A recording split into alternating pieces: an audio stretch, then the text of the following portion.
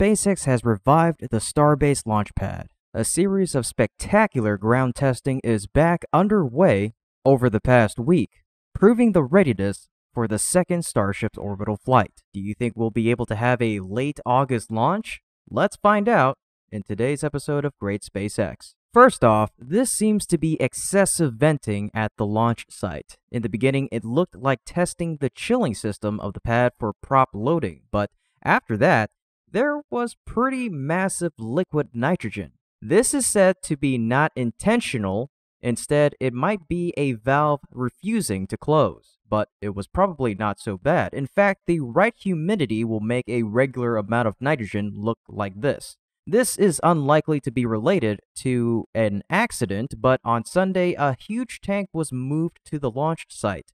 So far, its purpose is unclear. It looks like a very high pressure air tank. Hopefully, it'll be installed in the right place soon.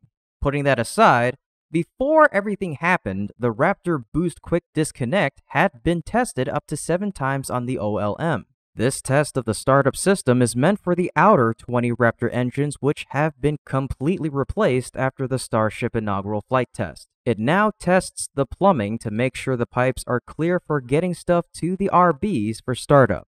Besides that, one thing the RQD purchase show is just how much energy is required to get the turbos spinning at the speeds they need in order to start the engines. You can imagine how fast those turbos spin when blasted with that much pressure. Most importantly, this means it's alive.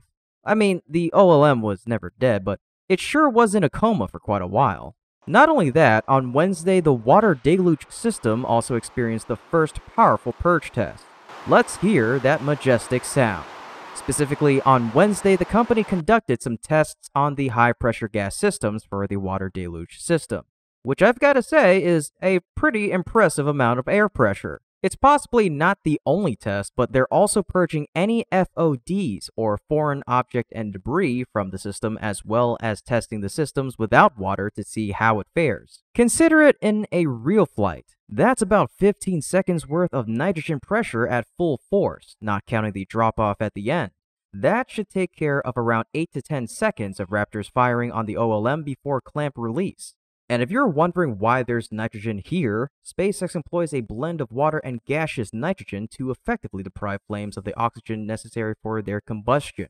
This method helps prevent the accumulation of oxygen and methane, thereby mitigating the formation of an explosive mixture within the launchpad area. By eliminating the presence of these combustible elements, the risk of accidental ignition is significantly reduced. The combination of water and nitrogen in this system ensures a safer environment by minimizing the potential for fire and explosion hazards. By employing this method, explosive gas mixtures can be rapidly neutralized beneath the launch pad, swiftly extinguishing any remaining fires. And finally, we're expecting Booster 9 to be transported to the launch site soon for its intense but promising tests. But regardless of how the timeline will go, SpaceX continues to spend heavily on the development of Starship. According to CNBC, the valuation of Elon Musk's SpaceX hit nearly $150 billion, following a share sale by existing investors announced last week.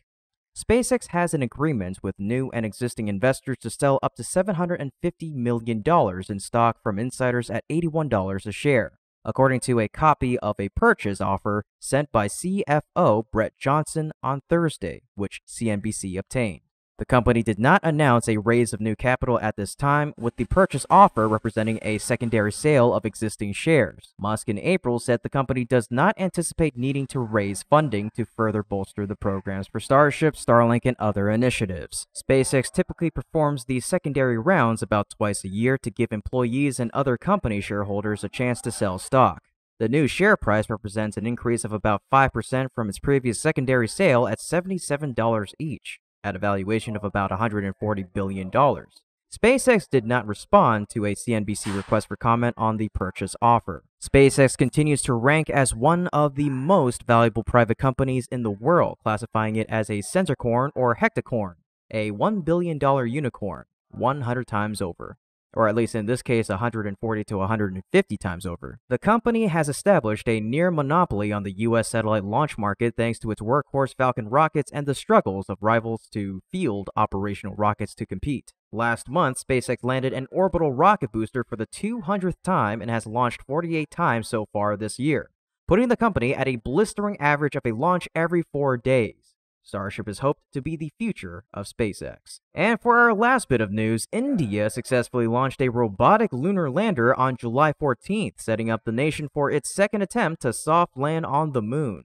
The Chandrayaan 3 spacecraft lifted off on an LVM 3 heavy lift rocket from Satish Dhawan Space Center at 5:05 a.m. Eastern Friday as scheduled. Live footage showed the three-stage rocket with two strap-on side boosters soaring into the air with bright yellow exhaust shooting out of its first stage engines. The Indian Space Research Organization, or ISRO, declared the launch a success shortly after the deployment.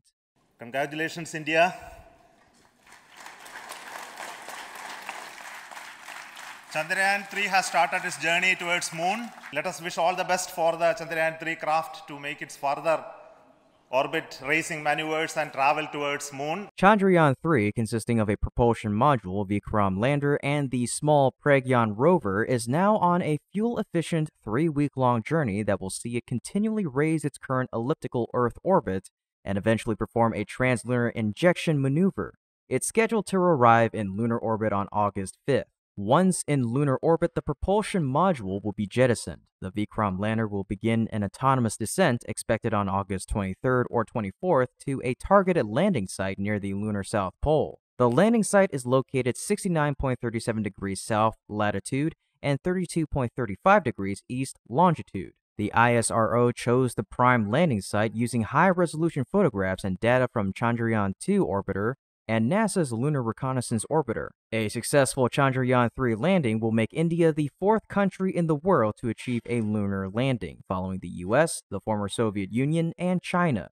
The mission would also be the first to land near the lunar South Pole, no previous moon mission has landed at a lower latitude. The three main objectives of the mission are to safely land on the lunar surface, collect data, and conduct a series of scientific experiments to learn more about the moon's composition. Chandrayaan 3 was developed by ISRO and is a two module configuration the 2,148 kilogram propulsion module and a 1,752 kilogram lander named Vikram, which also carries the 26 kilogram Pragyan rover. The propulsion module will carry the lander and rover from injection orbit to 100 kilometers above the moon.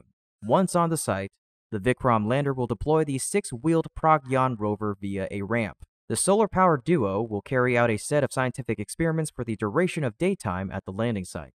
One period of lunar daylight on the moon lasts for 14 Earth days. Without radioisotopic heater units, the spacecraft is not expected to survive the deep cold of lunar nighttime. Chandrayaan 3 is a part of a wider, renewed international interest in the moon. The mission follows six moon landing attempts in the past decade. These include China's Chang'e 3, 4, and 5 successful lunar landings, and the unsuccessful Israeli Beresheet, Indian Chandrayaan 2, and Japanese Hakuto R Mission 1 missions. Well, folks, that wraps up our show for today. We hope you enjoyed learning more about the amazing progress over at SpaceX as well as what's happening with Indian space. If you want to support our channel and get access to exclusive content, please consider becoming a patron by clicking the link in the description below. We appreciate your generosity and your passion for space exploration. So, uh, as always, this is Kevin from Great SpaceX, and until next time, keep looking up.